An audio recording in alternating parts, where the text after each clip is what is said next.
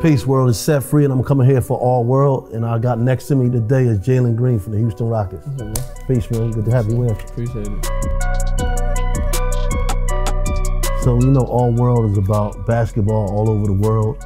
Let's talk about where you're from first, which is Fresno. How was it growing up playing basketball? Uh, it was super cool. Um, I had a lot of people supporting me in Fresno. Um, I've been playing basketball since like seventh grade. That's when I really took it like seriously, probably like eighth grade. And then, um, yeah, as soon as I got to high school, just kind of blew up. How important is AAU to you? And um, just this, like that system of basketball. AAU was super important to me, uh, just because that's really how I got my name out. Mm. Um, playing AAU and like going to camps and stuff. You know, you go and play against the top guys, see what you really made of when you go to those camps and AAU games. So yeah, it was super important. Super important. Cool, cool. If you had to pick anywhere in the world that you could play ball, where, where's somewhere that you want to play basketball at? Anywhere in the world, U.S. for sure. That's a fact. That's you a know, fact. we got the best athletes. You know, we got the best competitors.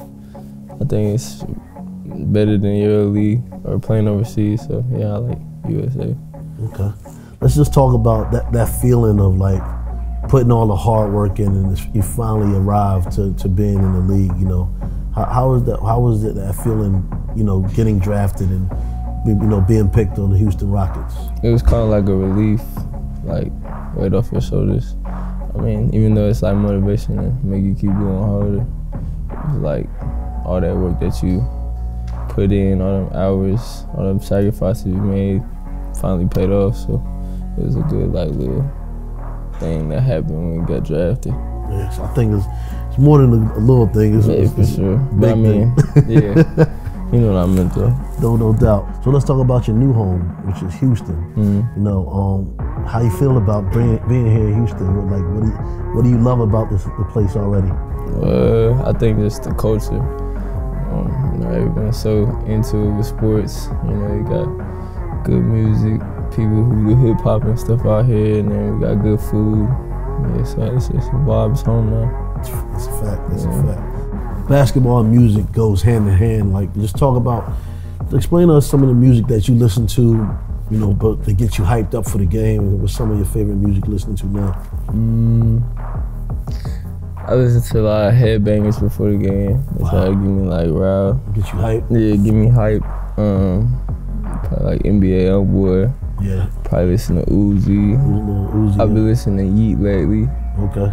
Uh, yeah, I, I kind of like that type of music, just cause Like give up-tempo, yeah, like get that adrenaline pumping. Exactly, That's a fact. Uzi definitely gonna make you do that. for sure. You doing the I Wanna Rock dance? So- Yeah, That's a fact. Yeah. Um, let's talk about this fashion. How you know fashion on the court and off the court. You know, um, I think you know you definitely one of the flyest youngins in the league right now. appreciate it. definitely. Um, how important is fashion to you, um, just on and off the court?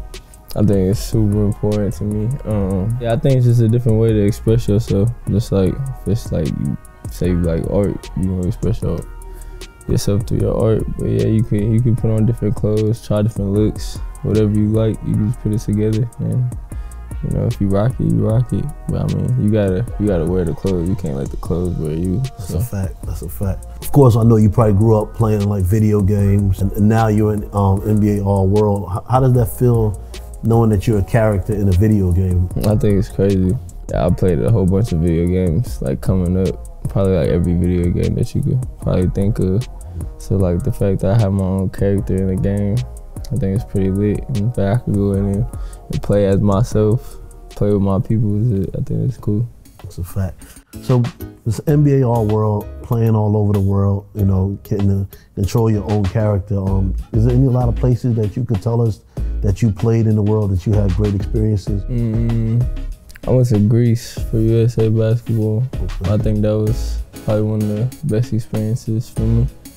Uh, we was able to walk around the city at night, um, go eat some good food out there, go by the water. Um, so yeah, it, it was a cool experience. Especially I've never been to Greece, so that was my first time. So let's talk about your heritage, your background, man, on being Filipino. Mm. How, how big is this? It's, uh, to, my, to my knowledge, I think there's only three players in the NBA that's Filipino. Um, you know, Jordan Clarkson, yourself, and how important is that to be, you know, representing your culture in the, in the NBA? Uh, it's super big.